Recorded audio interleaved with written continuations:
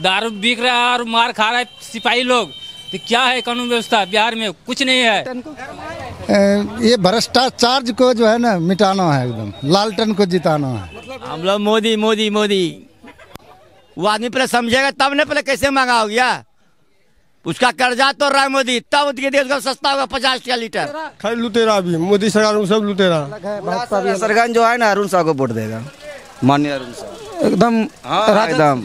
हाँ। बिहार के तारापुर और कुशेश्वर स्थान में उपचुनाव होने हैं और इसको लेकर नॉमिनेशन की प्रक्रिया भी पूरी कर ली गई है। इस वक्त हम हैं तारापुर के असरगंज बाज़ार में। यहाँ पर लोगों से जानेंगे कि जिन्होंने, जिस प्रत्याशी ने भी नामांकन दाखिल किया है, वो कैसे हैं और वो किन को चुन रहे हैं। इस बार जो दोनों सीटों पर उपचुनाव होने हैं, जदयू के लिए खासकर जीवन मरण का सवाल है। हालाँकि कांग्रेस राजद और जदयू ने भी यहाँ पर प्रत्याशी खड़े कर दिए हैं। कल सबका नामांकन पूरा हो चुका है। आइए हम तारापुर की जनता से जानते हैं कि वो किसको इस बार चुन रहे हैं। कल नामांकन हो चुका है। इस बार क्या लग रहा है उपचुनाव में किसको जीत मिल सकता है? अरुण कुमार शाह लोकल नेता है। किस पार्टी से खड़े राजद से। हम्म। और यहाँ का जनता तो 80 पचासी परसेंट वोट मतदान उसी को करेंगे। अरुण कुमार साहब कैसे कैसे कैंडिडेट नहीं ठीक है कैंडिडेट तो समाज से भी है ये है। यहाँ का ही है रहने वाला।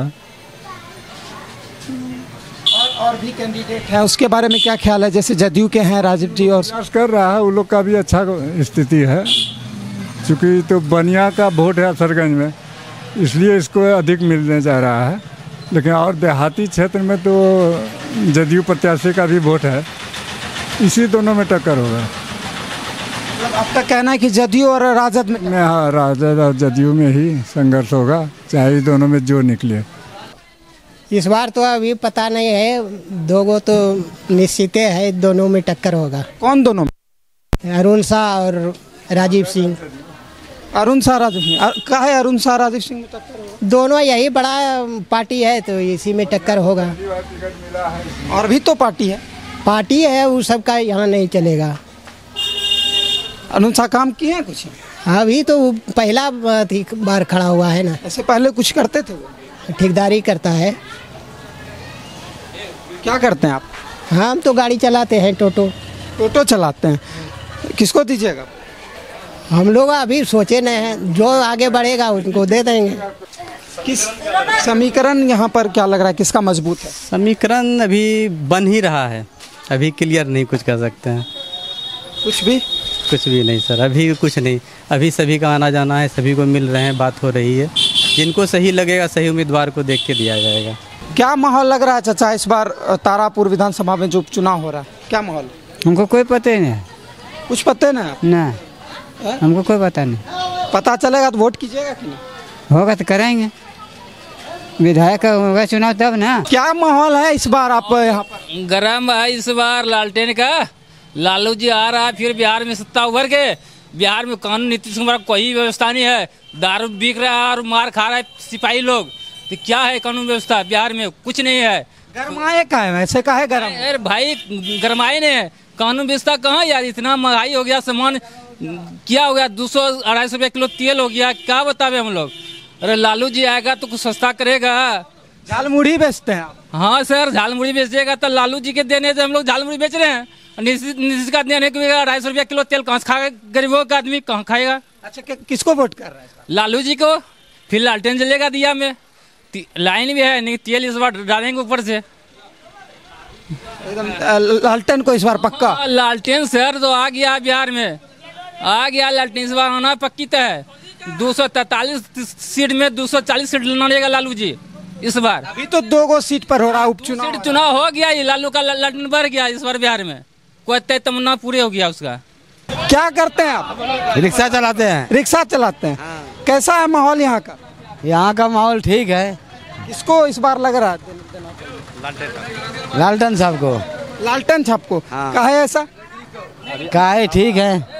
हवा है लालटन छाप हाँ हाँ हवा है।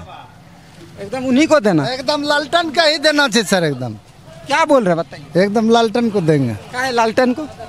ए, ये भ्रष्टाचार को जो है ना मिटाना है एकदम। लालटन को जिताना है। मतलब कहाँ भ्रष्टाचार कहाँ कहाँ देश में हो रहा है सर? अभी देख रहे हैं गरीब आदमी एकदम परेशान है। हम लोग हम लोग ऑटो चलाते हैं इतना दिक्कत झेलते हैं। ऑटो चला। जी। लेकिन कुछ सुविधा तो कहाँ नहीं मिल रहा सरकार से हम लोगों को? बीजेपी और और और लोगों से बात करते हैं। पान पान बेचते हैं चाचा।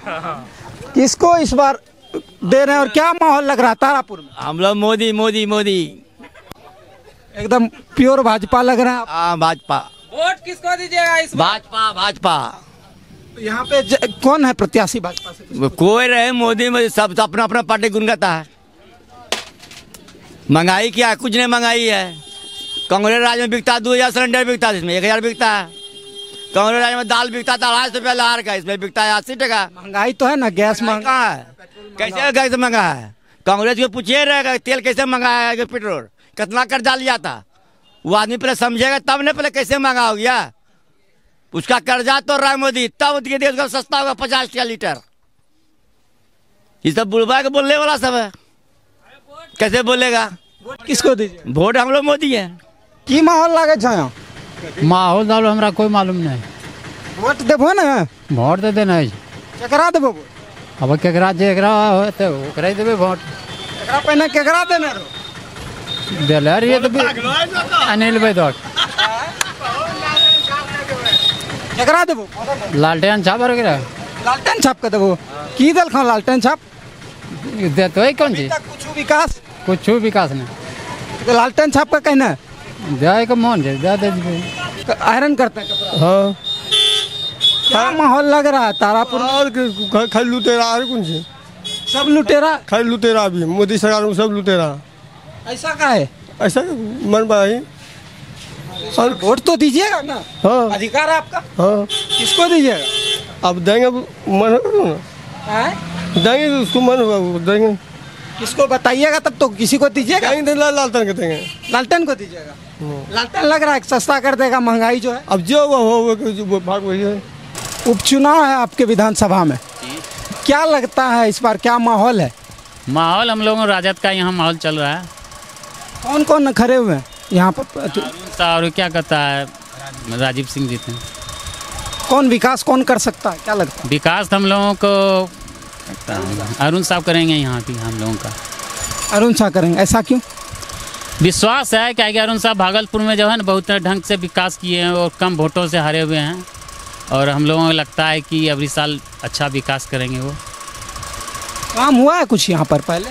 पहले तो कुछ काम तो नहीं हुआ है लेकिन क्या अभी हम लोगों का कोई काम तो नहीं किए हैं, लेकिन अरुण साहब सब रोड वोड बनाए हैं कहीं से ठेकेदारी लेके। इस बार उन्हीं को हाँ देंगे वोट उन्हीं को। चलिए भैया बताइए। आइए। क्या माहौल है इस बार? और नॉमिनेशन तो हो गया है कल। और प्रत्याशी भी है तीन तीन यहाँ पर कांग्रेस भी अलग है भाजपा भी सरगंज जो है ना अरुण शाह को वोट देगा। माननीय अरुण साह। एकदम हाँ एकदम। हाँ। क्यों? क्योंकि सर अच्छे नेता हैं। विकास हुआ है कुछ तारापुर में? इससे पहले कुछ जो पर, जो, जो जीते थे यहाँ पर। तीस साल से जो है ना ठेकेदार से काम करते हैं। अरुण सानव पहले जो जीते थे यहाँ पर कोई विकास तारा कोई विकास नहीं हुआ है सर। तो सुना आपने तारापुर के असरगंज की जनता का मूड। यहाँ पर जो बनिया समाज है ज़्यादा झुकाव। राजद के जो प्रत्याशी हैं अरुण शाह उनके पक्ष में जा रहा है। बहरहाल चुनाव के दौरान क्या होता है यह देखना दिलचस्प होगा। आप बिग न्यूज़ को सब्सक्राइब कर लें और तारापुर विधानसभा की हर पल अपडेट के लिए तैयार रहें।